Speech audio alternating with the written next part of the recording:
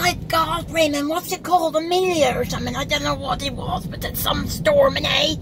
You know how to treat a woman, don't you, boy? Bring them down in A40, get them a cup of tea from Handsome's down there, look. Handsome, she made that lovely, look at that. Oh, they're my favourites there. I tell you what, Handsome, she lovely made. She'd do cakes and all down there and all, but look at the mount over there, look. He's taking some battering, isn't it, eh?